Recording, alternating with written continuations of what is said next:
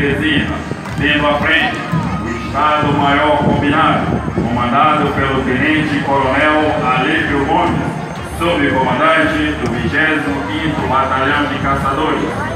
O Estado-Maior Combinado é formado por oficiais do 25BC e do 2º BEC. A bandeira nacional e sua guarda, composta por oito militares. O pavilhão nacional é conduzido segundo Tenente Vidal e o estandarte histórico do 25BC é conduzido nesta oportunidade pelo terceiro Sargento de Matos.